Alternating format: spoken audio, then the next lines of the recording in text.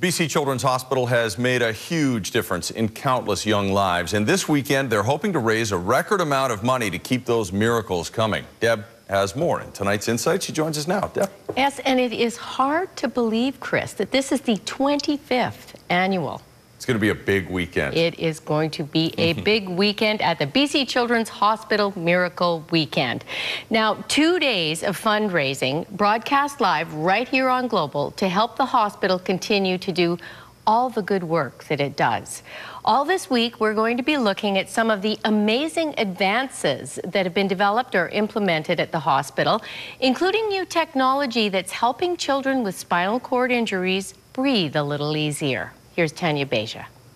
16-year-old Priya Sekhon can move more freely through her high school hallways now that she's not dependent on a ventilator for every breath. She's very happy because no tubes around her neck. And uh, before, when she we go to the party, and she feels shy, she have tubes. At four and a half years old, a car accident left Priya a quadriplegic.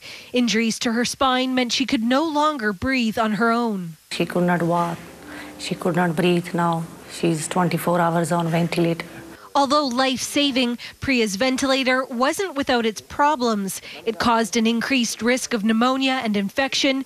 A short battery life meant she had to be close to an electrical outlet to recharge. It was noisy, and the large tubes affected Priya's self esteem and her quality of life. The other things that happen with a ventilator is that patients can't smell and can't taste because the air goes in directly to their airway and you actually need the, the pull of air to have the, the taste and the smell sensations that you and I enjoy. Dr. Sonia Butterworth is helping to introduce a compact new technology that's replacing the ventilator and giving patients like Priya more freedom. What this is, is it's a very small electrode that is implanted into the patient's diaphragm.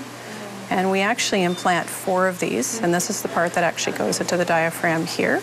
We plant two in the front of the diaphragm on either side and two in the back of the diaphragm on either side.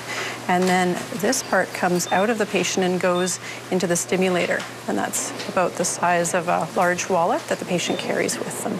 So what this does is it delivers an electrical current to the diaphragm directly and stimulates the muscles to contract, allowing the patient to breathe in a very normal physiologic fashion. So far, BC Children's Hospital is the only centre in Canada implanting diaphragmatic pacemakers in children. Since 2009, three, including Priya, have had the surgery, and Butterworth says she's happy with the results.